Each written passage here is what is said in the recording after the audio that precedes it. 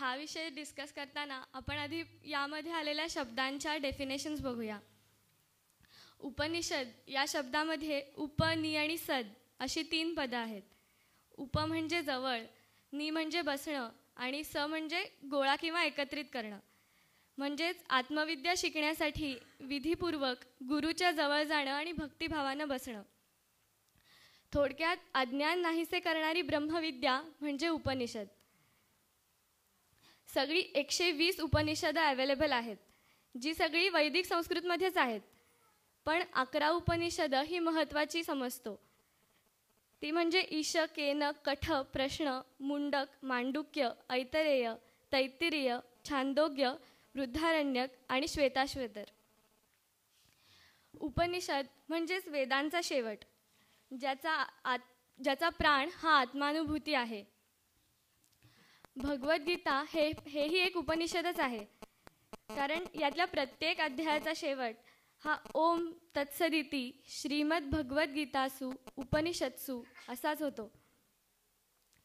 भगवद्गीतेला आपण स्मृतीही म्हणतो आणि याच स्मृतिग्रंथांनुसार जीवन जगण्याच्या पद्धतीला हिंदू धर्म म्हणतात. आता याच धर्माच्या आपण वेगवेगळ्या डेफिनेशन्स करू शकतो. आचार प्रभवो धर्म म्हणजेच आचरणाची दिशा. किंवा धारयती इति धर्म म्हणजे समाज ज्या आधारे स्वतःच्या हितांसाठी एका चौकटीत बंदिस्त राहतो तो धर्म. थोडक्यात काय? तर discipline plus moral is equals to धर्म.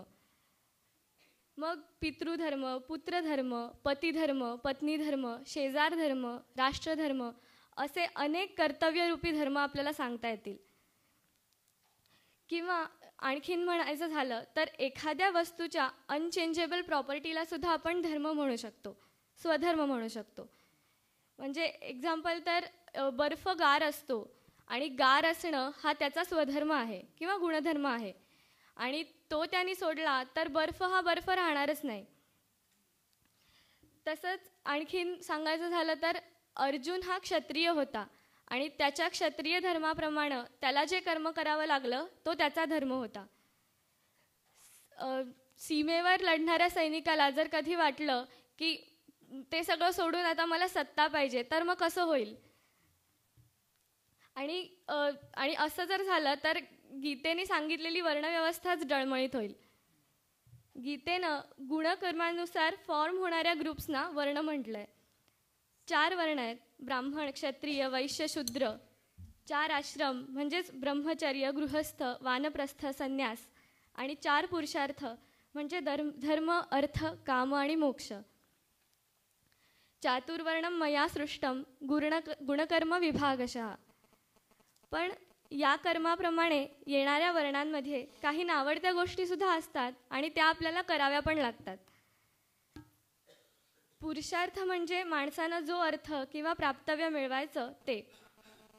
चार पुरुषार्थांमधलं मोक्ष हे सगळ्यात श्रेष्ठ असं मानतो आपण. आणि त्यालाच परमर्थ म्हणजे परमार्थ म्हणतात. आणि धर्म हे फक्त त्या प्राप्तव्यापर्यंत नेणारं एक साधन आहे. आपण आत्तापर्यंत उपनिषद गीता यांच्यामधल्या धर्म आणि परमार्थाच्या डेफिनेशन्स पाहिल्या किंवा इन्फॉर्मेशन बघितली. पण त्यामध्ये आणि आपण आचरणात आणणाऱ्या धर्मामध्ये किंवा समाजात दिसणाऱ्या धर्मामध्ये बऱ्याचदा सिंक्रोनायझेशन दिसत नाही किंवा ते कमी वेळा दिसतं. खरं तर आपलं पर्सनल लाईफ आणि सोशल लाईफ यात सुसंवाद निर्माण होण्याकरता धर्म असतो. पण मग तसं होतं का? विसंगती का निर्माण होते? आणि माझ्या मते या सगळ्याला सगळ्यात इम्पॉर्टंट रिझन असं आहे की या सगळ्याचं महत्त्वच आपल्याला वाटत नाही. किंवा हे कधी आपण केलं नाही तर आपला काही पुढे अडल अडेल असंही वाटत नाही. तहान लागली की विहीर खो खोदण्याची आजच्या आमच्या जनरेशनची सवय आहे. पण मुळात इथे तहानच लागत नाही. आणि दुसरं कारण असं असू शकतं की ते म्हणजे बऱ्याचदा मनोनिग्रहही कमी पडतो. आणि कधी कधी असं होतं की अस्सल धर्मनिष्ठा ही आपल्याला झेपत नाही. आणि मग धर्माच्या बहिरंगामध्येच आपण दंग होतो आणि आपल्या धार्मिकतेमध्ये समाधान मानतो. आणि आजकाल तर नवीन ट्रेंड आला आहे म्हणजे आपण किती कूल आहोत हे दाखवायसाठी आम्ही धर्म वगैरे काही मानत नाही. त्या सगळ्या जुनाट कल्पना आहेत. आणि माझ्या धर्मापुढे डॅश आहे असं आपण अगदी अभिमानाने सांगतो. पण पण मी पण माझ्या मते हे असं वाटण्यामागं एक रिझन आहे. ते म्हणजे आपल्यापर्यंत खरा धर्म काय आहे हे कधी पोचलाच नाही आहे किंवा तो चुकीच्या पद्धतीनं पोचला. आणि आपल्याला ते न कळल्यामुळं आपल्याला त्याबद्दल कधी जिज्ञासा आणि उत्सुकता वाटलीच नाही. आणि आजकाल आजकाल तर आपलं आणि देवाचं रिलेशन हे गिव्ह अँड टेक पॉलिसीवरती चालतं. म्हणजे मी तुला स्वतःच्या हातांनी बनवलेल्या एकवीस मोदकांचा नैवेद्य दाखवतो पण तू मला प्लीज चांगला जॉब दे. त्याला तर नैवेद्यातला एक मोदकही खाता येत नाही. तो पन्नास हजारांचा जॉब कशाला देईल आपल्याला? बापरे म्हणजे रोज देवाला किती डील्सची डील करावं लागत असेल देवच जाणे. हो.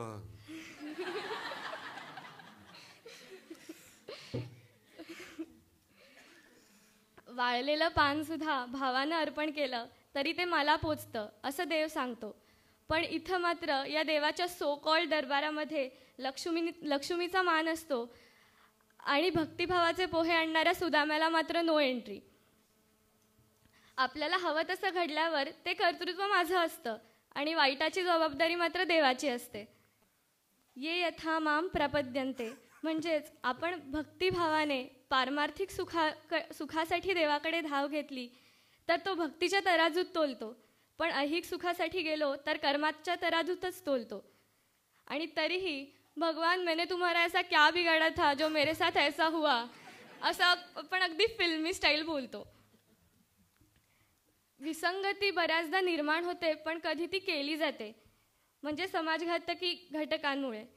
पण आणि याचं उत्तम उदाहरण म्हणजे आपल्या भारत देशामध्ये अचानक एक दिवशी जन्मलेली असहिष्णुता विचारांमध्ये बुद्धीमध्ये आणि मनगटामध्ये ही ताकद नसणाऱ्यांनी पुरोगामित्वाचे झेंडे नाचवत निर्माण केलेला हा एक विसंवादच आहे. जिथं अफजल गुरुसारखे प्रोफेसर्स असतात तिथे कन्हैया कुमारसारखा राष्ट्रद्रोही विद्यार्थी हा घडणारच. अभय हा खरं तर सगळ्यात मोठा गुण आहे. पण देवाच्या भीतीपोटी आपण वेगवेगळ्या रूढी आणि परंपरा अगदी ब्लाइंडली फॉलो करतो अर्थ न समजून घेता. आणि या वेगळी गोष्टींमध्येच अडकून पडतो. आणि नवीन नवीन अंधश्रद्धांना जन्म घालतो. आणि मग आपल्या याच अज्ञानाचा फायदा काही जण घेतात आणि आपल्या मनामध्ये देवाबद्दल भीती निर्माण करतात. मग आपण गॉड लव्हिंग पीपल होण्याऐवजी गॉड फिअरिंग पीपल बनतो. यावरूनच एक किस्सा आहे. एक एका शाळेच्या कॅन्टीनमध्ये एका काउंटरवरती ॲपल्स ठेवलेली बास्केट असते. आणि त्याच्यावर नोटीस लिहिलेली असते की take only one God is watching you आणि दुसऱ्या एका काउंटरवर चॉकलेट्सचा बॉक्स असतो. तर एक छोटा मुलगा जातो आणि त्याच्यावरती लिहून येतो take as many as you want God is busy watching apples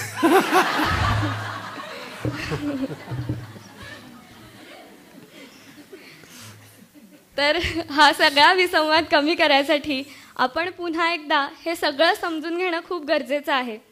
rather तसं वाटणं हे त्याहून इम्पॉर्टंट आहे. आपल्याला संत महात्म्यांनी उपनिषदेतला धर्मच सांगितलेला धर्मच आपल्या संतांनी आचरला आणि आपल्या पुढे अगदी सोप्या शब्दात तो मांडला. पण मग आपण काय केलं? आपल्याला सोयीचं तेवढंच उचललं. काठ्यांवर लावलेल्या निरनिराळ्या रंगात धर्म शोधत बसण्यापेक्षा सायंटिफिकली आणि लॉजिकली सांगितलेला धर्म फॉलो करायचा आपण ट्राय का नाही करत? परमार्थ जसा समजून घ्यावा तसा तो अगदी सूक्ष्म होत जातो. कृष्णानं अर्जुनाला लढ असं सांगितलं पण त्याबरोबर अहिंसाही सांगितली. करते पण टाकायला सांगितलं. सर्व धर्मान परित्यज्य मामेकम शरणम व्रज. सर्व कर कर्त्या कर्तव्यातील करता हा बंध सोडून सर्व धर्मांचा त्याग करून मला एकट्याला शरणी आहे याचबरोबर कायिक मानसिक वाचिक तपही सांगितलं आणि युक्तहार विहारस्यही सांगितलं. पण या सूक्ष्मतेला समजून घेणं खूप गरजेचं आहे. आणि म्हणतात ना की जग जगात कितीही वाईट माणसं असली तरी जग हे काही चांगल्या लोकांवरच चालतं. तसं नेहमीच अधर्माने जगणाऱ्या कौरवांची संख्या जास्त असते. पण मा- कृष्णासारखा मार्गदर्शक हा फक्त पांडवांनाच मिळतो. तसं आजही आपल्या आजूबाजूला अनेक अशी उदाहरणं आहेत जे परमार्थ प्राप्तीकरता भगवद्गीतेमध्ये सांगितलेल्या धर्माचं आचरण करतात. अच्छा अगदी लांबचं उदाहरण कशाला द्यायचं? इवन माझे आजोबा माझ्या घरातलंच उदाहरण. गृहस्थ गृहस्थाश्रमाकडून वानप्रस्थाश्रमाकडे जाताना ते मेघालयात स्वयंसेवक संघाकडून सात वर्ष सेवा करायसाठी राहिले आणि अगदी स्वखर्चानं. त्यानंतर वानप्रस्थाश्रमाची सवय लागावी म्हणून तीन वर्ष घराबाहेर राहिले आणि एक वर्ष अगदी एकांतात. आणि या सगळ्यामध्ये ध्यानाच्या वेळा चुकलेल्या मी कधीच बघितलेल्या नाही आहेत त्यांच्या. दुसरं उदाहरण सांगायचं तर सातारचे पेठे काका. त्यांनी वयाच्या अठराव्या वर्षी ईश्वराची अनुभूती घ्यायची ठरवलं आणि त्यानुसार त्यापुढचं अख्खं आयुष्य त्यांनी आखलं. इवन असेही खूप लोक आहेत ज्यांनी परमार्थ प्राप्तीसाठी नाही पण आपला स्वधर्म अगदी नेटकेपणानं केला. बिल गेट्स नारायण मूर्ती यांनी जेवढं कमावलं तेवढंच जगाला दिलं. दान करणं हेही गीतेमधल्या धर्माचा एक भाग आहे. इवन खूप स्पोर्ट्समन पण असे आहेत. पी टी उषा मेरी कोम तेंडुलकर यांनी आपापल्या ध्येयपूर्तीसाठी अनेक गोष्टींचा त्याग केला आणि एक का डिसिप्लिन लाईफमध्ये ते जगले. क्रांतिकारक राष्ट्रभक्त शास्त्रज्ञ अशी अनेक उदाहरणं मग यासाठी देता येतील. ईशावास्यमिदम सर्व यत्किंच जगत्याम जगत तेन त्यक्तेन भुंजित आहा मा गृध कस्यस्वित धनम. आजूबाजूची सृष्टी ही ईश्वराची आहे. आणि तिचा मर्यादित उपभोग घेत त्याग करायला शिक. धर्माचा कर्माशी सातत्याने संबंध जोडला जातो आणि आपल्या ध्येयप्राप्तीसाठी आपल्यालाही कर्मधर्माने प्रयत्न करावा लागतो. शेवटी धर्माच्या धर्माचा साधन म्हणून पुढे परमार्थापर्यंत जाणारा हा प्रवास प्रत्येकाकरता वेगळा असतो आणि तो व्यक्तिगत असतो. प्रत्येकाला प्र प्र पडणारे प्रश्न आणि त्यांची उत्तरे शोधण्याच्या पद्धतीसुद्धा वेगवेगळ्या असतात. मी कोण? मी कुठून आलो? मी इथेच का जन्म घेतला? माझ्या जन्माचं आणि जगण्याचं उद्दिष्ट काय आहे? मी याच घरात का जन्मलो? असे अनेक प्रश्न. पण हे प्रश्न पडण्याची वेळ ही वेगळी असते प्रत्येकाची. जसं मी मगाशी म्हटलं की बर्फानी हा त्याचा गार राहण्याचा गुणधर्म सोडला तर बर्फ हा बर्फ राहणारच नाही. तसा माझा असा कुठला स्वधर्म आहे? जो मी सोडला तर मी हा मी उरणारच नाही. हे आपल्या प्रत्येकाला कळावं आणि विचारांनी पटावं आणि आपल्याला अनुभूतीच्या प्रांतात न्यावं. ही ईश्वरचरणी आणि स्वामींच्या चरणी प्रार्थना करते.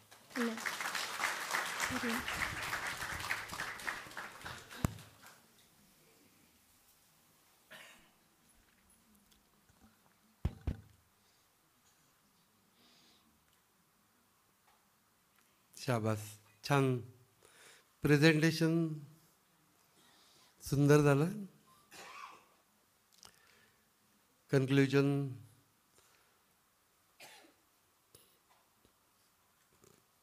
या पद्धतीत झालं की ज्यामुळे आम्ही आत्मस्वरूपावरती लक्ष ठेवणं सकळ धर्मा माझे धर्मस्वरूपी राहणे हा स्वधर्म. याकडे निर्देश करून हे बोलणं. पूर्ण झालं. छान स्वाध्याय झाला मला आवडला. सगळ्यांनाच आवडला. काही काही गोष्टी प्रेझेंटेशन पण खूप छान होतं.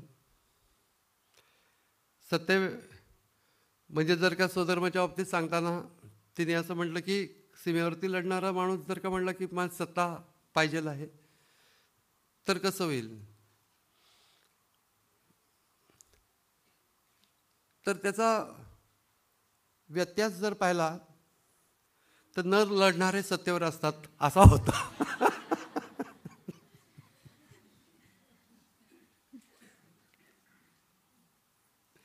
काही काही छान गोष्टी मला याच्यामध्ये सापडल्या. की प्रत्येकजण काहीतरी स्वतःचं मागण्यासाठी म्हणून देवाकडे जातो आणि ते जे काही करतो त्याला धर्म म्हणतो एक वाक्य मी कालच ह्याच्यामधनं येताना इकडे गिरीवनकडे येताना एक पुस्तक वाचत होतो त्यावेळेला. त्याच्यात एक वाक्य वाटलं होतं you may consider God as a waiter but he has to attend to many tables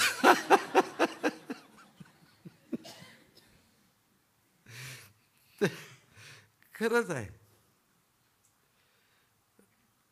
त्यानंतर त्याचं जे स्वरूप आहे अवजानंतिमाम मोढा मानुषीम तनुमाश्रित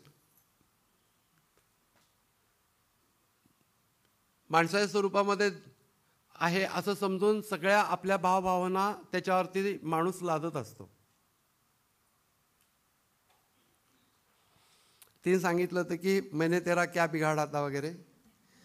हे स्टाईलने नाही सांगितलं.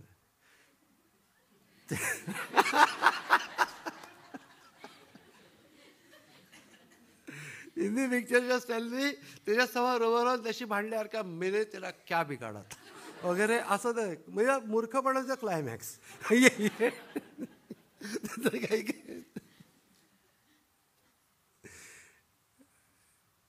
असल्या गोष्टी करणं देवापुढे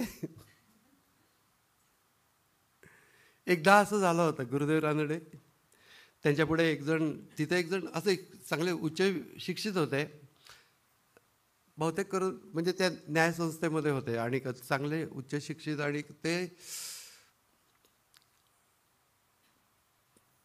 कुणीतरी असं म्हटलं की ते सिटिंग चालायचे ना? कुणीतरी असं म्हटलं की वृक्षाचंही पान हाले त्याची सत्ता राहिली आनंदामय कुठे? तर वृक्षाचं पान सुद्धा त्याच्या सत्तेने हालतं. तर त्याच्यावरती ते बाहेर एका माणसाला म्हणलं की तुमच्या देवाला खूपच काम असतो हो. प्रत्येक झाडाचं पान हलवणं म्हणजे सोपी गोष्ट. आता ही गोष्ट झाल्यानंतर कोणीतरी गुरुदेवांच्या पाशी बोललं की त्याच्यावरती ते होतेच म्हणजे तिथे. आता गुरुदेवाच्यावर काय उत्तर देतात सगळ्यांची उत्सुकता होती. त्याच्यावर ते एकच वाक्य बोलले देवाबद्दल असं बोलू नये. बास. काहीतरी सेन्स पाहिजे माणसाला. आम्ही काय करतो आहोत? आमची बुद्धी किती? आणि आपण एकदम कशा? म्हणजे मला सगळ्यात हे आन्सर आवडलं की देवाबद्दल असं बोललं बाकी काही बोलण्याची गरजच नाही.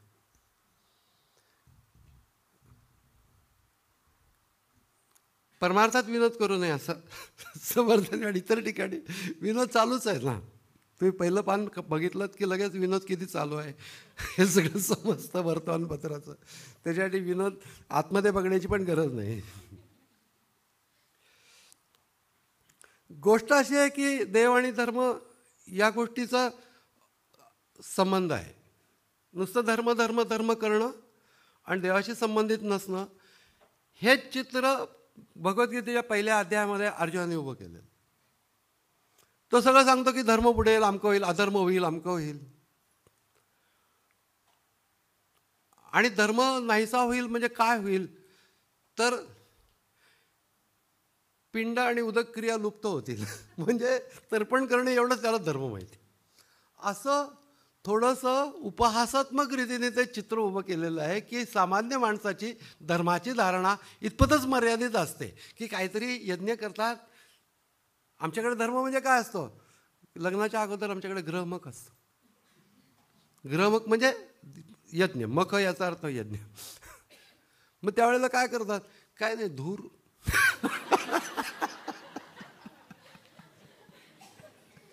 आता त्या कंडिशन्स तुम्हाला माहिती नाहीत. पूर्वी असे बेकार असे सगळे कन्स्ट्रक्शन आणि बाहेर व्हेंटिलेशन काही नाही. आतमध्ये ते धूर करायचे ते डोळ्यात जायचं आणि काही कोणाला कळायचं नाही. जे काय बोलत आहेत ते. आणि मग त्यामुळे समाज धर्माच्या बाजूने पासून दूर जाण्याचं मेन कारण त्याला न समजवता त्याच्यावरती केवळ आचार लादले गेले. हाच कारण आहे त्याला. आणि प्रत्येक वेळेला गायत्री मंत्राचा अर्थ सा सांगतो मी आणि का तुम्ही पण ऐकून घेता याचं कारण असं आहे की खरोखरीच महान मंत्र आणि का सगळ्या लोकांच्या कल्पना भूतकेतं काढणे काहीतरी कुठल्या तरी ऐक इच्छा त्याची पूर्ती होणे याच्यासाठी तर नाहीच आहे हे कळायला तर पाहिजे. मग प्रत्येक वेळेला धर्म म्हणून काहीतरी केलं जातं. देवाशी तो संबंध आहे सबंध भगवद्गीतेच्या पहिल्या अध्यायामध्ये अर्जुनजी कल्पत मांडतो की तर धर्म बुडेल अमकं होईल तमकं होईल तमकं होईल पाप लागेल. पितर सगळे नरकात जातील. आम्ही पण नरका जो असं आम्ही ऐकलं आहे असं म्हणतो. फार सुंदर आहे. असं आम्ही ऐकलं आहे. कुणाला माहिती नाही पण असं आम्ही ऐकलं आहे असं तो म्हणतो. पण सबंध याच्यामध्ये अर्जुनाच्या त्या ह्याच्यामध्ये कुठेही देवाचं नाव नाही. धर्माचा काहीतरी देवाशी संबंधी आहे हे कुठं दिसतच नाही अशी जी बाजू आहे ती अर्जुननी मांडलेली आहे. भगवान श्रीकृष्ण आणि अर्जुन दोघांनी मिळून गीता सांगितलेली आहे. फक्त भगवानांनी गीता नाही सांगितली नरनारायण हे दोघं ऋषी अर्जुन आणि श्रीकृष्ण यांच्यामध्ये आहेत. एक जण प्रश्न विचारतोय आणि एक उत्तर देतोय. म्हणजे खरं तर एकाच भगवंताचे हे दोघं अवतार आहेत हे लक्षात घेतलं पाहिजे. त्यामुळे अर्जुन हा भगवंतापेक्षा किंचितही कमी नाही तो भगवत स्वरूपच आहे. आणि त्यांनी प्रश्न विचारायचे भगवान. आणि ते सगळे प्रश्न ते आपले प्रश्न आहेत. आपलं चित्र तो उभं करतोय. आपण जशा प्रकाराने धर्म धर्म धर्म म्हणतो ना आम्हाला धर्माच्याबद्दल काहीच माहिती नसते. आणि मोठ्या आवेशाने बोलतोय. त्याच्यावरती भगवानांनी त्याची निर्भर्सना केली म्हणजे या प्रवृत्तीची निर्भर्सना केली. अर्जुनाची नाही केली. बुद्धिवाद करतोय सतत ते म्हणले. म्हणजे जे काय डोक्यात आलं त्यातल्या त्यात इंटेलिजन्स जिथपर्यंत जाऊ शकतो त्याच्यानंतर काय पण बोलत राहायचं. कुठे देव दाखवा. मी ज्या वेळेला ते एक, देवाला रिटायर करा असं विधान झालं होतं त्यावेळेला मी पंढरपूरमध्ये होतो आणि का- मला प्रश्न विचारला जसं काय मीच ते विधान केलं होतं. आणि सत्संग होता आणि त्यावेळेला तुमचं याच्यावरती काय मत आहे? म्हटलं माझं काय मत असणार याच्यावरती? प्रत्येकाला एक एक मत आहे दिस इज फ्री कंट्री त्याच्यामध्ये कोणी काही मत मांडू शकतं? देव दिसत नाही मग ते मी का मानावा? असा तो भूमिका त्याच्या पाठीमागे. म्हटलं मला फक्त एक गोष्ट आठवते की एका ठिकाणी एक गाव होतं आडगावचं खेडं म्हणतात तसं आणि तिथं एक असा दणकट परीट होता. आणि तो असे सगळ्यांचे कपडे घेऊन दणा दणा दणा दणा त्या ह्याच्यावरती शेळेवरती आपटून व्हायचा. दणकत होतं खूप. आणि त्या गावातला एक मुलगा कसं कधी करून शहरामध्ये जवळच्या गावामध्ये जाऊन शहरामध्ये जाऊन शिक्षण घेऊन आला. तर त्यावेळेस शिक्षण घेऊन आल्यानंतर तो सांगत होता तो परीट भेटला त्याला. आता परीटला आता म्हणजे सगळ्यांचं प्रेम पण होतं त्याच्यावरती पण ते हे खूप राकट आणि क दांडगट होते.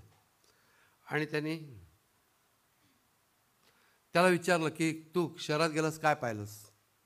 त्यांनी सांगितलं निर्णया गोष्टी पाहिल्या शिकलो वगैरे. माझ्या इतकी शक्ती कुठं पाहिलीस का? माझ्या इतकी शक्ती कुठं पाहिली का? तर म्हटलं की तुमच्यासारखी शक्ती कुठं पाहिली नाही परंतु एक अणुशक्ती म्हणून म्हणतात. ती खूप मोठी आहे. ती खूप मोठी आहे. तो म्हणला दाखव. तो म्हणलं दाखवता नाही येणार. तर मग मी मानत नाही म्हणला अणू मला दिसत नाही त्यामुळे मी तो मानत नाही. त्यामुळे अणुशक्ती मानत नाही. तसंच देव मला दिसत नाही म्हणून मी मानत नाही म्हणणं आहे. असं मी त्यावेळेस सांगितलं होतं. लोकांना खूप पटलं की दिसत नाही म्हणून मानणे सूक्ष्म आहे ना कसं दिसेल? या चक्षुषानं पश्यती येणं चक्षुंशू पश्यती.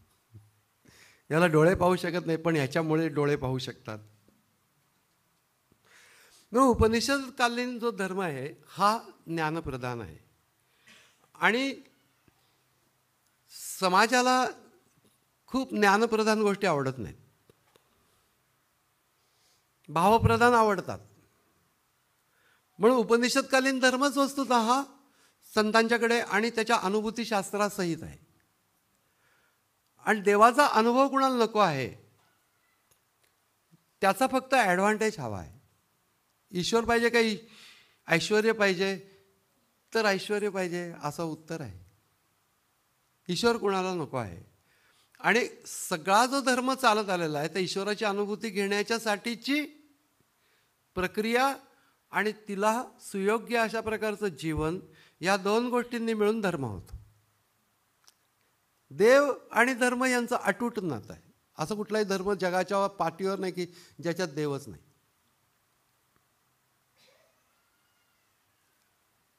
सरकारी कार्यालयामध्ये सुद्धा देवधर्म असतो. काहीतरी देव. आणि धर्म. हा त्यांचा धर्म आहे. पण ही गोष्ट लक्षात घेतली पाहिजे की धर्माचा संबंध हा ईश्वर प्राप्ती होण्याच्यासाठी स्वतःला सुयोग्य करत राहणे यासाठी म्हणून आहे.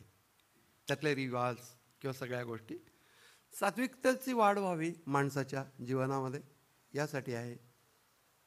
म्हणून कुठले कुठले काय काय काय काय काय काय अनेक उपाय असतात. एकच उपाय आहे अशातला भाग नाही. समाजा उपनिषदांमधला धर्म हा संतांच्या जीवनामध्ये आणि त्यांच्या वाङ्मयामध्ये आलेला आहे. आणि त्यामुळे आम्हाला हा प्रश्न सिम्प्लिफाय करायचा झाला तर तो दुर्गांनी मांडला पण की संतांनी तो धर्म मांडलेला आहे. तर तो संतांचा धर्म आणि समाजाचा धर्म याच्यामध्ये फरक काय? तर समाजाचा धर्म हा फक्त वैयक्तिक ॲडव्हान्टेजकडे देवासाठी देवाकडे पाहणारा असतो. आणि संतांचा जो धर्म आहे तो ईश्वर प्राप्ती हा त्यांचा मेन उद्देश आहे. या दोन उद्देशांमध्ये फरक असल्यामुळे समाजाचा धर्म आणि संतांचा धर्म याच्यामध्ये किंवा उपनिषदांचा धर्म आणि क समाजाचा धर्म याच्यामध्ये फरक पडला आणि तो राहणारच आहे. कारण की सगळ्या ग्रॅडेशन्समधनं समाज आहे. त्याच्यामध्ये एक काही विशिष्टच क्लास आहे की जो देवाकडे देवासाठी जातो. आणि याचं पर्सेंटेज अतिशय कमी आपण सुद्धा कदाचित त्याच्यामध्ये नसू. मग तुम्ही विचार करा. कधी कधी असू म्हणजे. पण काही वेळेला नसू पण. देवाकडे देवासाठी जाणारा क्लास हा अतिशय कमी असतो. आणि तसं सगळी प्रिन्सिपल्स जी मांडलेली आहेत भगवद्गीतेमध्ये निष्काम कर्मयोग. विवेकानंद म्हटले तसं पाहायला गेलं तर निष्काम कर्म बडबडायला खूप छान आहे परंतु एकही कर्म तसं पाहिलं तर निष्काम होत नाही. आपल्या स्वतःच्या कर्माकडे पाहिलं तर एकही कर्म निष्काम होत नाही तरी धीर करून करून करून करून कुठं तरी केव्हा तरी एखादा निष्काम कर्म जमायला लागतं. म्हणजे तसं कन्सेप्ट समजायला अवघड नाही आहे पण त्याची प्रॅक्टिस डिफिकल्ट आहे. कारण हायेस्ट गोष्ट मिळवायची असेल तर ती चीप नसतेच मुळे. आणि त्यामुळे आम्हाला ती आणि एक उन्नत माणूस असतो तो नेहमी हायेस्ट मिळवण्याचा प्रयत्न करत असतो. पण ते न मिळवता खालच्याच पातळीवरचं राहणं त्या दिशेने उन्नती झालेली नसल्याचं लक्षण आहे. आणि तसा बराच समाज असतो. सामाजिक धर्माच्या मध्ये आणि संतांच्या धर्मामध्ये फरक पडण्याचं मेन हे कारण आहे. उद्देशांमध्ये फरक आहे. पण तरी देखील संतांचा समा धर्म सारखा सारखा समाजाच्या समोर आणून कमीत कमी ते कन्सेस काय आहेत हे तरी डोक्यात येतील. असं असतं का? मी एका ठिकाणी एका प्रवचन केलेलं होतं आणि त्या अगदी सगळं सकाम उपासक असाच तो वर्ग होता. त्यासाठीच ते जमलेले होते. आणि मी कर्मयोग सांगायला सुरुवात केलो आणि जेव्हा मी म्हटलं की कुठली इच्छा धरून देवाकडे जाता कामा नये. त्यावेळेस त्यांचे चेहरे इतके अचंबित झाले. मग मला कळलं की आपण चुक चुकीच्या ठिकाणी चुकीचं बरोबर चुकीच्या ठिकाणी बरोबर बोलतो आहोत. मग भावनात्मक भक्ती वगैरे वगैरे असं बोलून मी ते जरा वेळ बागवून नेली. परंतु ही गोष्ट लक्षात घेतलं पाहिजे की समाज याला प्रिपेअर्ड नसतो. त्यातला काही भाग प्रिपेअर्ड असतो. वैचारिक दृष्टीने प्रिपेअर्ड असतो काही भाग. प्रॅक्टिकली प्रिपेअर्ड असलेला फार फार फार थोडा भाग असतो. म्हणजे या सगळ्या ग्रेडेशन समाजामध्ये आहेत हे गृहित धरलं पाहिजे. आणि जे काही उत्तम आहे ते समाजापुढे ठेवत राहिलं पाहिजे. हा आमचा स्वधर्म आहे. जे जे आपण असे टावे ते ते इतरांचे सांगावे शहाणे करून सोडावे अवघे जन सकळ जन हे सांगताना मला जे याच्यामधलं जे मध्यवर्ती माहिती आहे जरी का माझ्या आचरणात नाही आलं तरी मला जे माहिती आहे ते मी सांगितलं पाहिजे. स्वामींना मी विचारलं होतं की हे बरोबर नाही आहे अनुभूतीच्या क्षेत्रात न जाता हे सगळं बोलायचं का? तर त्यांनी एका शब्दात म्हणजे एका वाक्यात सांगितलं साधना या भूमिकेतनं बोलायचं. आपण सिद्ध आहोत या भूमिकेतनं बोलला की गेला गाळात. हे लक्षात घेतलं पाहिजे जे जे प्रेझेंटेशन्स करतात त्या सर्वांनी हे लक्षात घेतलं पाहिजे की आपण कुठे आहोत हे स्वतःला माहिती पाहिजे. आणि ते इतरांना अजिबात माहिती होता कामा नाही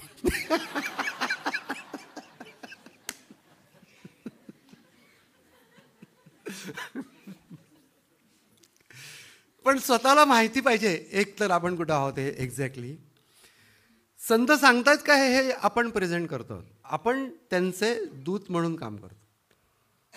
आपण त्यांचे सेवक म्हणून काम करतो. संतांच्या पालखीचे आपण भोई आहोत असं आपण समजलं पाहिजे स्वतःला. ही माझी आजपर्यंतची ही भूमिका आहे. ती शर्टपर्यंत राहील. कारण की हे संत जर तुम्ही बघितलं त्यांच्या वाङ्मयाचा जर खरोखरीच तुम्ही अभ्यास केला करता आहात म्हणजे त्याची उंची बघितली तसं आपली दृष्टीसुद्धा तिथपर्यंत पोचू शकत नाही या पातळीवरती ते लोक होते.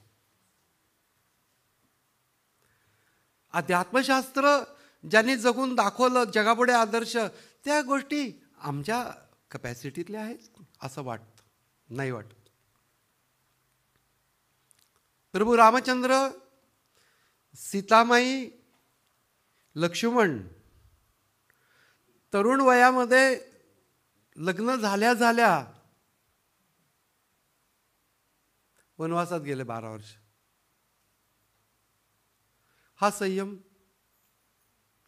आणि या बारा वर्षामध्ये घर ग्रहाबाहेर कुठल्याही प्रकारचे भोग घ्यायचे नाहीत. याचं कारण की जे काही म्हणजे शास्त्र म्हणून ही एक गोष्ट. आणि दुसरी गोष्ट म्हणजे जे वचन दिलेले आहे वनवास याचा अर्थ केवळ वनात राहून मजा करा असा त्याचा अर्थ नाही. माझ्या पित्यांनी वचन दिलेलं आहे ते वनवास याचा अर्थ कुठल्याही प्रकारचे उपभोग न भोगणे. म्हणून प्रभू रामचंद्र सीतामातेशी लग्न झालेलं असताना दोघंही शारीरिक उत्तम कंडिशनमध्ये असताना चौदा वर्ष ब्रह्मचारी राहिले. ही आमची दृष्टी पोहोचू शकेल तिथपर्यंत. दोघंच होते. तिथे. एकांत होता. पण तो सगळा काळ प्रभू ब्रह्मचार्य म्हणजे आदर्श काय असू शकतो हे दाखवून देण्याचं काम रामचंद्र प्रभूंनी केलं. आता हा धर्म कुठे आहे आणि आज आम्ही जे पाहतो आहे त्या धर्माचं स्वरूप काय आहे? म्हणून हे आदर्श किंवा इतक्या उंच पातळीवरचं जीवन जगता येतं कारण की मी एक वचन पाळतो आहे आणि त्याच्यामध्ये उप उपभोग घ्यायचा नाही आहे म्हणून ज्यावेळेला बिभीषणाला राज्याभिषेक करायचा होता त्यावेळेला प्रभू लंकेमध्ये शिरलेच नाहीत. त्यावेळेला मारुतींनी निर्भर्सना केली की तुम्ही असं कसं करता हा तुम्हाला आता वैषम्य वाटतंय का वगैरे. त्यावेळी त्यांनी एकच गोष्ट सांगितली की बाबा रे चौदा वर्ष पूर्ण व्हायचे नगराच्या आतमध्ये मी आजपर्यंत गेलेलो नाही. वनात म्हणजे वनात. मग प्रत्येक जे आमचं वाङ्मय आहे त्याच्यामध्ये दिव्य प्रेरणा देणारं वाङ्मय आहे. हे सगळे महान पुरुष होऊन गेले. आम्हाला अभिमान वाटला पाहिजे आमच्या संस्कृतीमध्ये. कशाचा अभिमान आहे हे पण आम्हाला कळलं पाहिजे. आम्ही जरूर या गोष्टी प्रस्तुत करू शकलो. लोक रामायणावरती ऑब्जेक्शन घेतात. राम धर्माविरुद्ध वागले. वालीला बाण मारला. झाडाच्या आडून बाण मारला. का बरं बाण मारला झाडाच्या आडून? वालीनी स्वतःच विचारलं हे ज्या वेळेला बाण मारला त्यावेळेला वाली पडला. आणि वाली पडल्यानंतर प्रभू जवळ गेले. वाली म्हणला की एकच प्रश्न विचारायचा आहे. की लपून बाण का मारला? त्याच्यावरती प्रभूंनी एकच प्रश्न विचारला. वाली एकच उत्तर दे. मी लपलो होतो का तुला पाहायचं नव्हतं? अगोदरच कळलं होतं की परत ज्या वेळेला सुग्रीव येतो आहे त्यावेळेला राम त्याच्या पाठीमागे आहे. आणि हे त्याच्या पत्नीने पण सांगितलं होतं की आता जाऊ नकोस युद्धाला. त्यावेळेला वाली असं म्हणलं की नाही नाही ईश्वर कशाच्याही मध्ये पडत नाही. अलिप्त असतो. मला माहिती आहे ना तो ईश्वर आहे. इतका शहाणपणा. म्हणजे तो होता ज्ञानी होता तसा उपासना करत होता. ज्यावेळेला रावणाने आव्हान देत होता रावण त्यावेळेला हा संध्या करत होता. मग त्याला म्हटलं की जवळ आहे म्हणून बोलणं मांडीखाली दाबून धरलं संध्या केली. असं तर बलिष्ठ होता परंतु आचार विचार पाळणारा होता. हे सगळं होतं परंतु कुठेतरी गडबडलेला होता. आणि ज्या वेळेला प्रभू प्रगटच आहेत परंतु आम्हाला पाहायचं नसतं. हा एक संदेश त्या कथेने देऊन टाकला की बऱ्याच वेळेला देवाची आम्हाला अडचण होते. कारण की आम्हाला जे करायचं असतं ते देवाला मान्य होणार नाही हे आम्हाला माहिती असतं.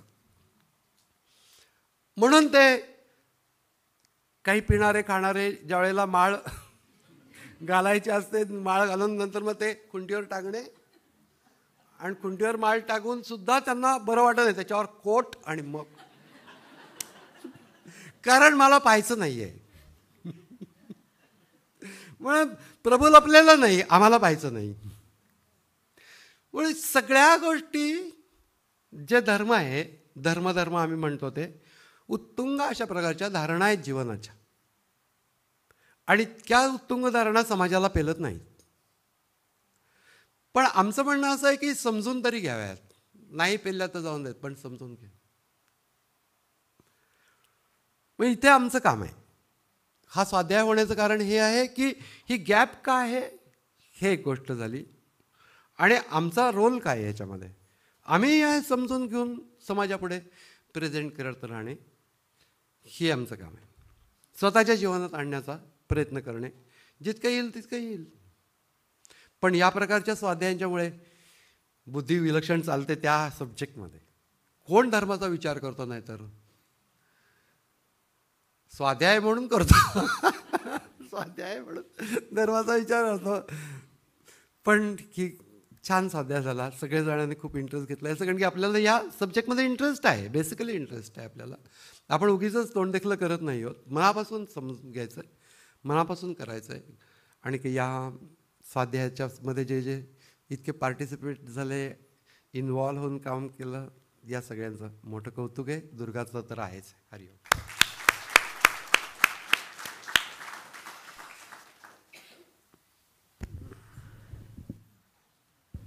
हरिओम.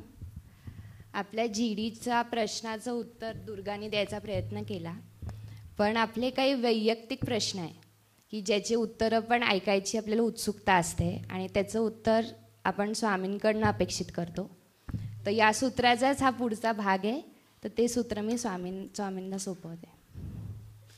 निंदळे प्रश्न लोकांनी दिलेले आहेत.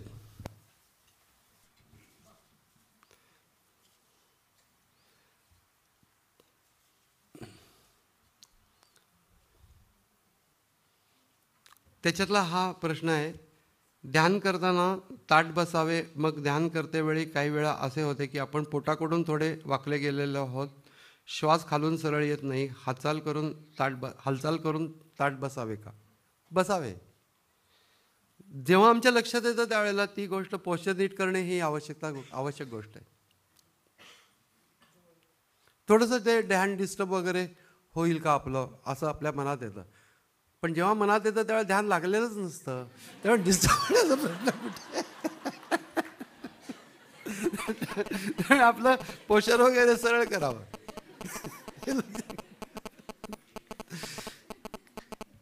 गीता हा ध्यान योगाच्यासाठीचा मानदंड असं समजा.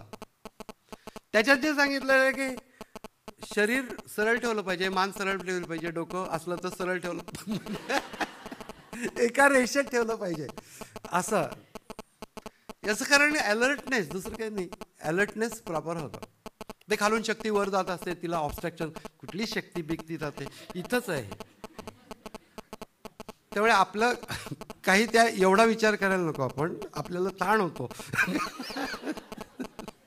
एवढा विचार करायची गरज नाही.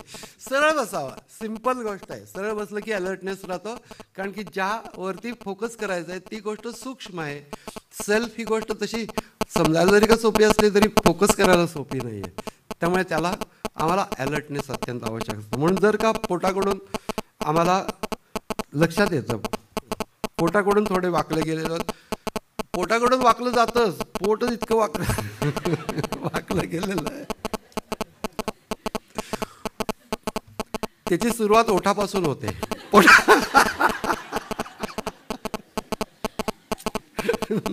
लक्ष द्या ध्यानानंतर भूक लागते का? केव्हाही लागू शकते.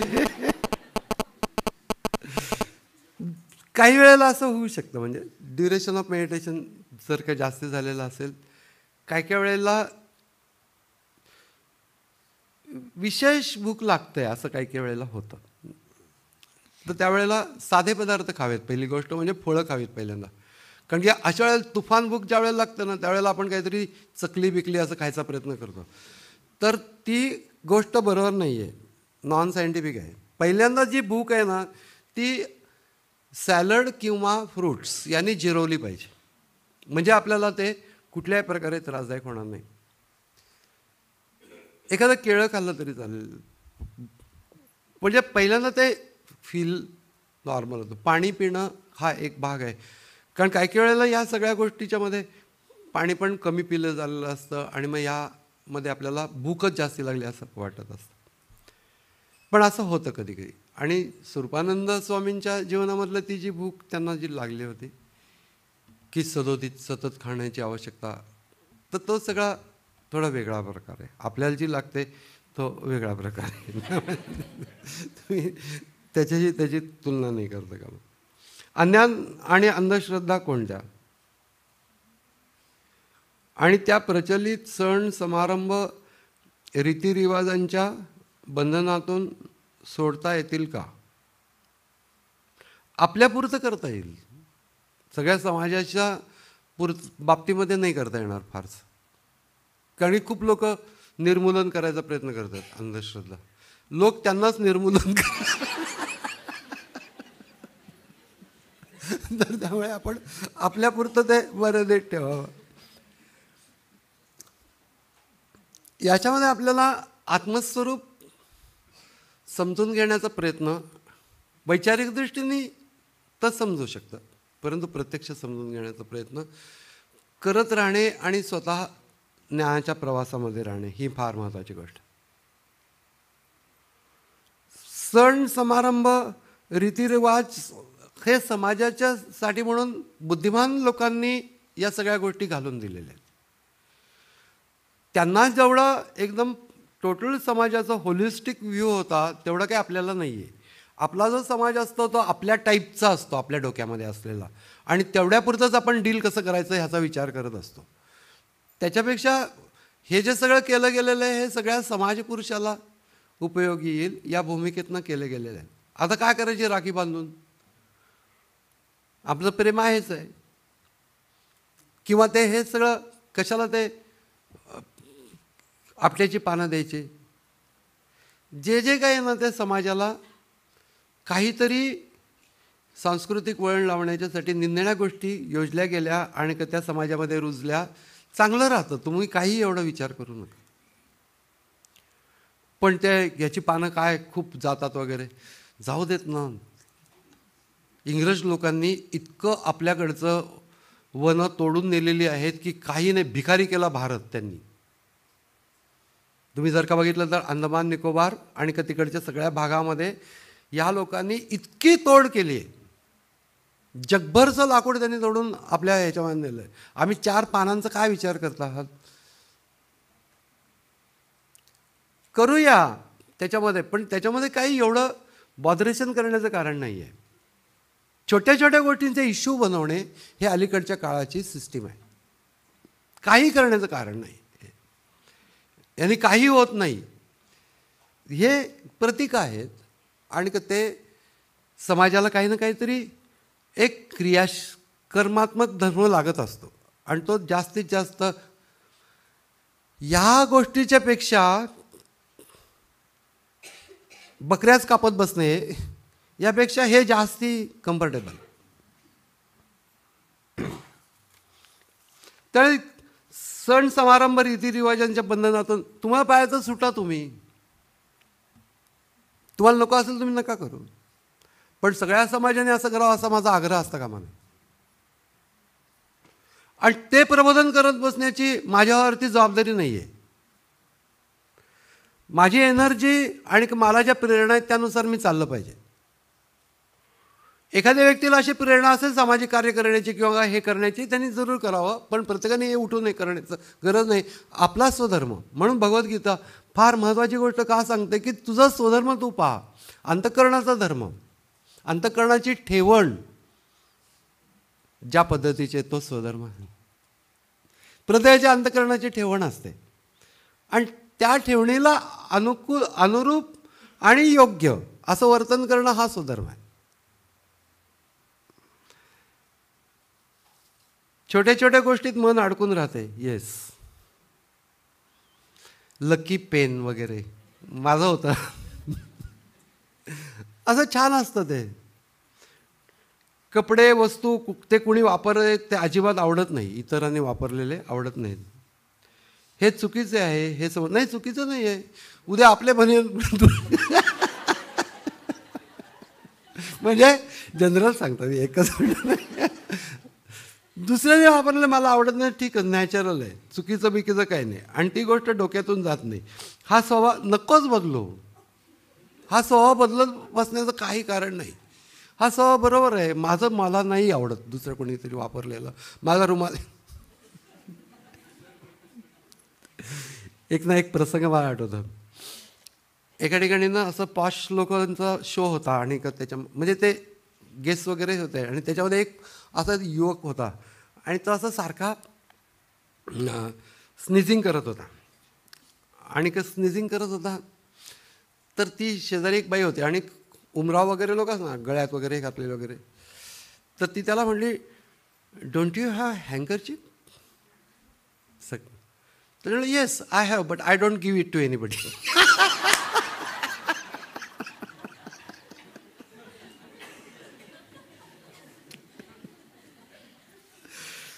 म्हणून युवकांच्या बरोबर राहण्याचं हे कारण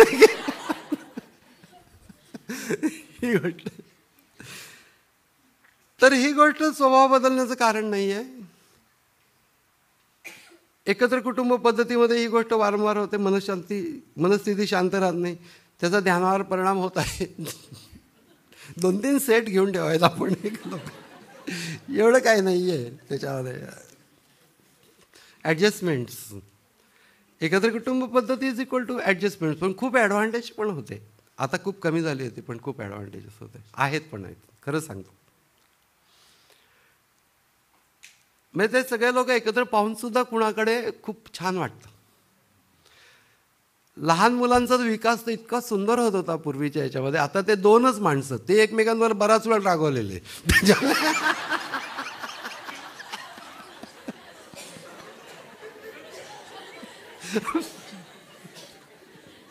असं ते सगळं आहे. पूर्वी हा राग आला तर दुसरा. होत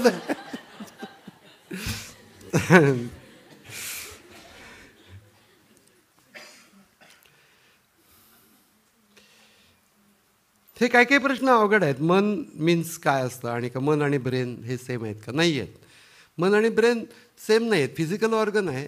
आणि का मन हा अजूनपर्यंत नीट कोणी डिफाईन नाही करू शकलो.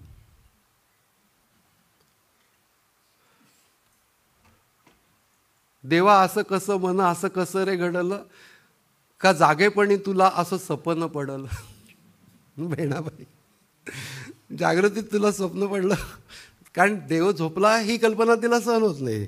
तुला असं स्वप्न पडलं का नुसतं पडत नाही? जागेपणी स्वप्न पडलं. कारण की देव ऑल द टाईम जागा आहे. त्या धारणाचं इतक्या सुंदर आहेत त्यांच्या. पण मनाचं डेफिनेशन करणं फार कुणाला जमलेलं नाही आहे पण एक वृत्तींचा प्रवाह निर्माण होतो आणि त्या प्रवाहालाच मन असं नाव दिलं जातं. त्यामुळे आपल्याला ते आहे असं जाणवतं. म्हणून विभूती असं भगवंतांनी म्हटलेलं आहे. मन ही विभूती आहे असं इंद्रियांच्यामधली मन ही विभूती असं सेम नाही आहे कारण की कॉर्टेक्समध्ये माइंड नाही. ब्रेनच्या फक्त फिजिकल ऑर्गन सपोर्टिंग इंटेलिजन्स किंवा माइंड असं त्याला म्हणू आपण. पण अंतःकरणाचा अंतःकरण या अर्थाने विचारलेला आहे हा प्रश्न. अंतःकरणाचे जे चार भाग आहेत ते आपण सांगू शकतो पण ते डिफाईन नाही करतायत ॲक्च्युली ज्यावेळेला संकल्प विकल्प करतं तेव्हा मन म्हणतात. विवेक चुडामणीमध्ये आचार्यांनी खूप छान दिलेलं संकल्प विकल्प करतं तेव्हा मन म्हणतात निश्चय करतं त्यावेळेला बुद्धी म्हणतात. निश्चय म्हणजे आपण जे निश्चय करतो ते नाही. अमुक एक गोष्ट अशी आहे हे बुद्धी ठरवते त्याला निश्चय असं म्हणतात. सकाळी उठायचं वाला निश्चय ती बुद्धी नाही करत. ते मनच करतं. जे जे आपण मोडतो त्यातली कुठलेही निश्चय बुद्धी करत नाही. त्याच्यानंतर एखादी गोष्ट धरून राहतं चित्त. आणि का शरीरावरती मी हा भाव धरून राहतो तेव्हा अहंकार असं म्हटलं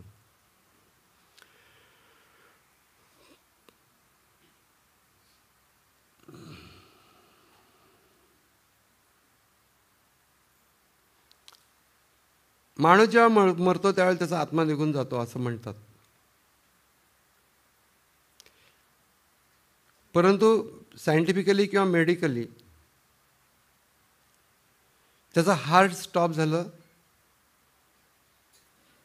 Pumping stop pumping bread blood or he stop breathing म्हणजे त्यावेळेला तो मेला असं पण ते बाह्यच लक्षण आहे. हार्ट बंद पडणं हा पण फायनल धरलं जात नाही. ॲक्च्युली ब्रेनचं फंक्शनिंग बंद पडणं हेच फायनल गोष्ट आहे. ब्रेनचं फंक्शनिंग बंद पडलं की सगळं संपलं. मग बाकी अर्थात त्याचे हे रिझल्ट्स आहेत. हार्टचं पंपिंग बंद पडतं वगैरे सगळं.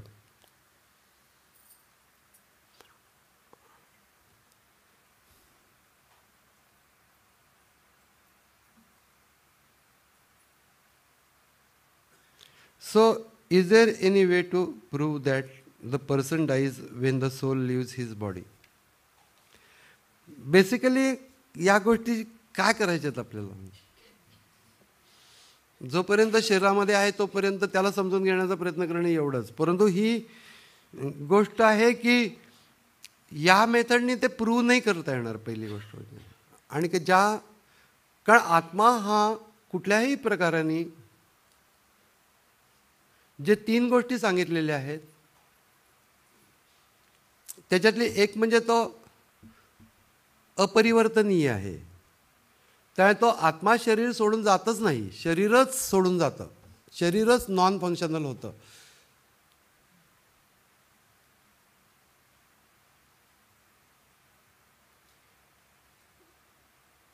म्हणजे जीव मरत नसून त्याचं शरीर मरतं असं म्हटलं जातं. त्यामुळे जीव किंवा आत्मा हा मरतच नाही. तो शरीर सोडून जात नाही कारण की तो अपरिवर्तन नाही आहे. त्यामुळे तो कुठं जाण्याचा येण्याचा प्रश्न नाही. म्हणजे अगदी हार्डकोअर तत्त्वज्ञान बघायचं झालं तर शरीर जात असतं आत्मा काही जात नाही. तर तो आत्मा शरीर सोडून जातो मग त्याला पकडायचा काही प्रयत्न आहे का? किंवा काही नाहीच जात तो शरीरच जातं. बंद पडतं शरीर. चेतना ज्या वेळेला विड्रॉ होते किंवा चेतना नॉन फंक्शनल होते. कॉन्शियसनेस ज्या वेळेला नॉन फंक्शनल होतं म्हणजे संवेद किंवा जाणीव त्यावेळेला त्याचं तो अनकॉन्शियस होतो म्हणजे त्याला नीट समजत नाही वगैरे हे या सगळ्या पण तो जिवंत असतो. पण ज्या वेळेला चेतना ही जी दुसरी शक्ती आहे ती ज्या वेळेला विड्रॉ होते त्यावेळेला फंक्शनिंग स्टॉप होतं. तर त्यामुळे हा काही जाणं येणं वगैरे हा प्रकार नसून जे कनेक्शन आहे ते कनेक्शन लॉस होतं. पण अजून काही गोष्टी गूढ आहेत या मृत्यूच्या संबंधामध्ये. तशाच आहेत. त्या अजूनपर्यंत सायंटिफिकली त्याची फार मोठी प्रगती नाही झाली. पण साध्या टेस्ट करूनच ज्यांनी विचारले ते डॉक्टर आहेत त्यामुळे त्यांना माहिती आहे की एखादा माणूस गेला म्हणजे काय करतात वगैरे कशावरून ते ठरवतात ते. तर त्यांचं असं म्हणणं आहे की आत्मा ज्या वेळेला शरीर सोडून जातो पण आत्मा शरीर सोडून जातच नाही. आत्मा तिथंच असतो. सगळा विश्व व्यापून आहे तो हालत नाही. आकाशाला जसा हालायला जागा नाही तसा आत्म्याला हालायला जागा नाही. कारण की तो नाही अशीच जागा नाही. त्या आत्मा जातो अशा प्रकारचा कन्सेप्ट नाही आहे आणि शेवटी सोप्या टेस्ट आहेत एखादा माणूस गेला हे सांग सांगायला. काही काही वेळेला समजा का तो गेलेला नसेल जवळजवळ गेलाच आहे तरी देखील गेला असं समजतात कारण की तो काही रिवाय होऊ शकणार नाही. एका ठिकाणी ना एक राजकारणी लोक प्रचार करायला जायचे त्यांच्याबद्दल भयंकर चीड होती तिथे त्या भागामध्ये. भयंकर चीड त्या राजकारणी लोकांच्याबद्दल होती. आणि का ते तिथं प्रचार करायला गेले. आणि खूप आडगावाला पूर्वीची गोष्ट आहे आणि का त्यावेळेला दोन दोन दिवस तिकडचा पत्ता लागायचा नाही अशा ठिकाणी. आणि ते गेले ते पत्ताच लागला नाही त्यांचा. मग कितीतरी दिवसांनी कोणतरी पत्रकार किंवा कोणतरी लोकांना घेऊन गेले तिकडे की काय झालं वगैरे. तर तिथे एक शेतकरी होता. असंच या लोकांवर चिडलेला. तर त्यावेळेला काय झालं त्या लोकांना? काय नाही त्यांची गाडी धडकली म्हणला ह्याच्यावरती जा झाडावरती आणि का सगळे पडले म्हणला मेले सगळे. तर म्हणलं मेले सगळेजण कसे मरतील म्हणला की नाही मी आम्ही ते पुरून टाकले त्यांना म्हणून. तर म्हणले पुरून टाकले अरे पण सगळे मेले असं कशावरून तुम्ही ठरवलं? तो म्हणला नाही त्यातले काही जण म्हणत होते की आम्ही मेलो नाही आहोत म्हणून. पण साहेब हे राजकारणी लोक किती खोटं बोलतात तुम्हाला गाळून टाकलं. अर्थात डॉक्टर असं करणार नाहीत. याच्यावर सांग त्याला वार नाही. आपल्याकडे तेहतीस कोटी देव तेही गाईच्या पोटात अशी संकल्पना अशी नाही आहे ॲक्च्युली आनंद कन्सेप्ट आहेत. शिकवण्यासाठी आहेत ते. आम्हाला जे साधारण रिझनिंगने कळतं ते पूर्वीच्या लोकांना कळत नव्हतं असं थोडंच आहे. हंड्रेड पर्सेंट कळत होतं. पण समाजाला वळण लावण्यासाठी केलेल्या गोष्टी आहेत ह्या. गाईच्या पोटात तेहतीस कोटी देव. मग आमच्या पोटात काय? आमच्या पोटात देव वगैरे राहत नाहीत. इतक्या वडापाव ठासून देवाला राहायला जागा नाही. ही गोष्ट असते. त्याच्यामध्ये आम्ही भावनेने समजत असतो. ज्यावेळेला ती पूज्य आहे या. मग प्रत्येक प्राणी तसं पाहिलं तर म्हणून सगळीकडं व्यापक इतकी दृष्टी होऊ शकत नाही. मग कुठेतरी फोकस करा कुठेतरी फोकस करा. म्हणून तो विभूती योग त्याच्यासाठी आहे की बाबा सगळीकडंच परमात्मा आहे ही दृष्टी आम्हाला एकदम झेपत नाही म्हणून आम्ही कुठंतरी या ठिकाणी तू आहेस. म्हणून विभूती योग त्यासाठी आहे. त्यामुळे हा जो कन्सेप्ट आहे हा ज्या व्यक्तींना त्या त्या गोष्टी आपण समजा की तिथं सगळे देव तेहतीस कोटी हा कदाचित म्हणजे त्या काळचा लोकसंख्या असावी माहिती नाही. काही लोकांनी तसं मांडलेलं आहे. आपण ते कन्फर्म धरायचं कारण नाही. एकंदर आपल्याला ब्रेक घ्यायला पाहिजे आहे आत्ता आत्ताचं काय कार्यक्रम काय आहे? हो पण आता मध्ये काही ब्रेक आहे की नाही? कोकम सर्वच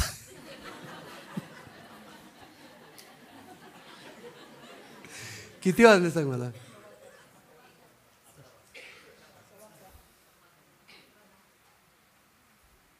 ब्रेक घ्यायला पाहिजे. हे नाही ते हे खूपच पुढे जाईल. कारण की प्रश्न बरेच आहेत आणि मला सारखी सुरसुरी आलेली आहे.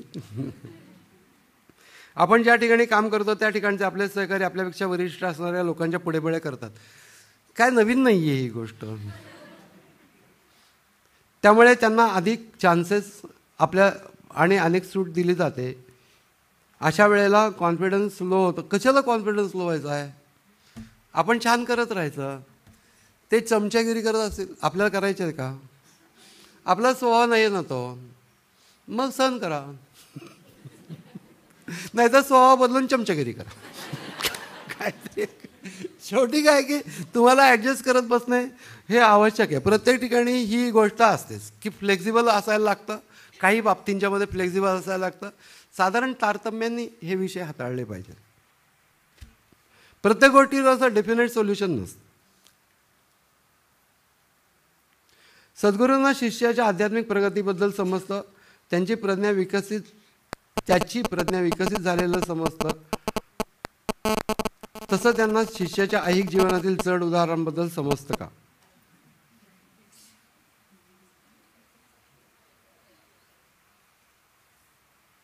त्याच्यामध्ये जर त्यांनी डोकं घातलं तर समजू शकेल परंतु ते स्वतःच्या जीवनाच्या बाबतीतल्या सुद्धा गोष्टींच्या डोकं घालत नाहीत तर ते वर्तमान काळात जगणे हा स्वभाव होऊन गेलेला असतो. आहे ते ॲक्सेप्ट करणे हा स्वभाव होऊन गेलेला असतो.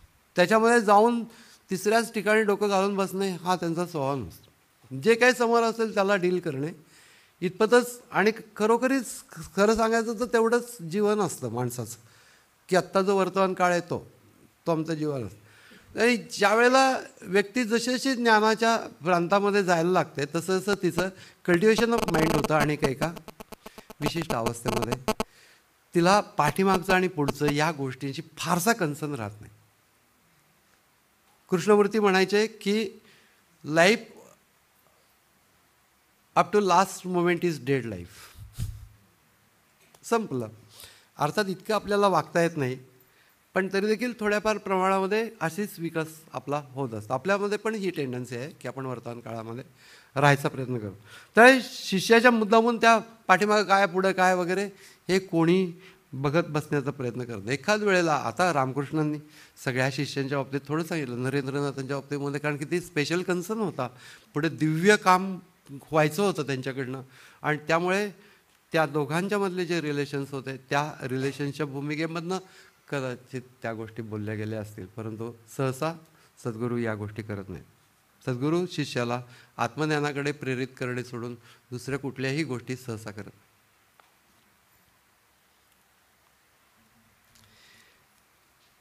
फार छान. आता प्रश्न सोडून एक दुसरं मला नोटिफिकेशन आलेलं आहे तिथे. ऑल इंडिया रेडिओतर्फे घेण्यात आलेल्या नॅशनल लेवल कॉम्पिटिशनमध्ये अभिषेक काळेला पहिलं बक्षीस मिळालं. भारत सरकारने मान्यता प्राप्त कलाकार आणि आकाशवाणीचा ग्रेडेड आर्टिस्ट म्हणून बी हाय ही पदवी त्याला दिली. सव्वीस फेब्रुवारी रोजी मुंबईमध्ये मुख्यमंत्री व राज्यपाल यांच्या हस्ते या कार्यक्रमाचा बक्षीस समारंभ होणार आहे. कुठे अभिषेक? आमच्याकडनं पण अभिषेक तिथलं एक हे घे. पुढे पुढे पुढे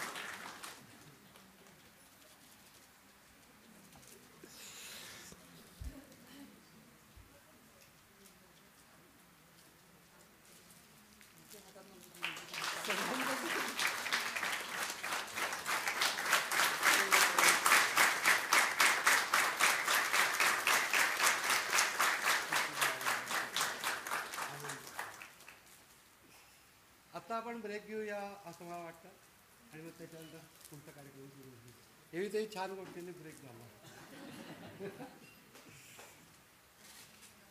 आज आनंद आहे की नाना इथं आहेत आणि त्यांच्यासमोर गीतगीता प्रेझेंट करण्याचा योग आहे त्यामुळे त्याचा इतका आनंद मला खरोखरीच अनेक कार्यक्रम गीतगीतांचे झाले तरी नाना असताना झाले त्याच्यामध्ये हे दोघेही असताना की त्याचा एक वेगळा आनंद असतो त्यांनी लिहिलेलं काव्य आम्ही प्रगट करतो